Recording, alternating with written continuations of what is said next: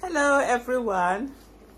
As we discuss serious issues here, we have to, from time to time, just lighten things up because that's the only way we can stay sane and stay connected. And right now, as sad as it is, River State is the one that is playing that, you know, giving us that drama. And uh, Fubara, so there's the live band. Fubara, day your day, hey, make I day my day. Nobody worry, no. But anyway, just hear them. For the interest of our dear states. Thank you, and may God bless every one of you.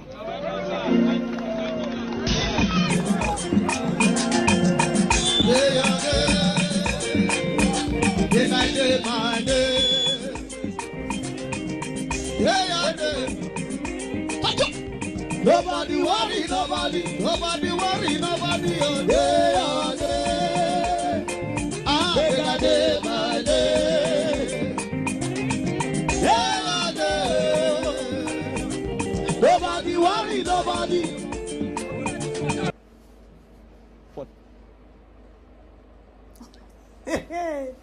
I sing day your day. Everybody say day in something.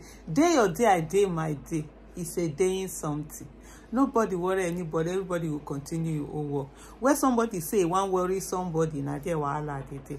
As my papa go talk am, he say if you want peace, be prepared for war. Honestly, I mean, it's just so crazy what is going on, but man, the, the most heartbreaking thing is the fact that it's at the expense of the state. Otherwise, uh, this public humiliation weaken it. it. Ay, yeah, yeah, yeah, yeah, yeah, yeah. When I want to say somebody, somebody needs, you know that that thing about pride goes before the fall, right? That's exactly Wike on this whole issue. It's just amazing. His arrogance of the last eight or maybe like 12, 16 years, right from when he was like Patience, uh, Jonathan's boy, as minister, he had favor with her. That was when their whole fight with uh, um, this person, was his name? uh oh lord Amaechi will, will, will, start and stuff like that so it's been on this high where you, he begins to believe that he's something you know the worst thing that can happen to any human being is when you begin to believe that you're something and you become arrogant because at the end of the day we are all nothing you know one of the things that keeps me humble about life on a very serious note. Like let me take it you know serious. This video has gonna be serious. One of the things that humble me about life is how we know nothing.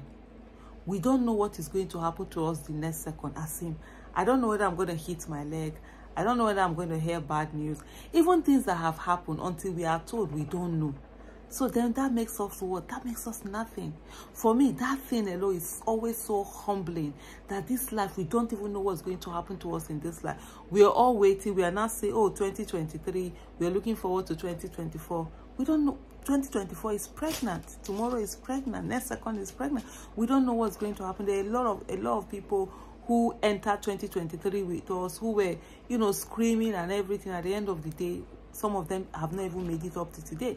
And some of us that have made it up to today we don't even know whether we're going to make it out of it. So these are things that keep people humble. That's one things that keep me humble. When i see people like oh you're so humble like what am i supposed to be? I'm just a nobody on this earth that knows nothing that my life is just like that. I don't even know what's going to happen to me the next second. I don't know what has already happened until somebody tells me you know that kind of a thing. So these are things that really for me they really keep me humble. When i see people behave in such arrogant manner behaving as if they own the world. I always i'm always surprised looking at them oh, because me as you see me like this i always say uh two dates that normally depress me although now with my birthday i'm trying to change my mentality on, on my birthday. These two dates are actually my birthday and new year and they are just a few weeks apart. You understand? I think they're about two plus 17 days or so apart. Uh, 12th of december is my birthday and then you have january 1st because on my birthday i'm like i used to look at it if i celebrate it what if that's the last birthday and i'm busy here celebrating it?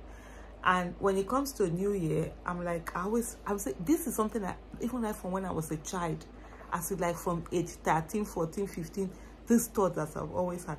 And then new year's i'm like what if i celebrate the, the new year and it is the year that i will not live meaning it's the year that i will die in then what have I done? That's always so they always feel so depressed on those days.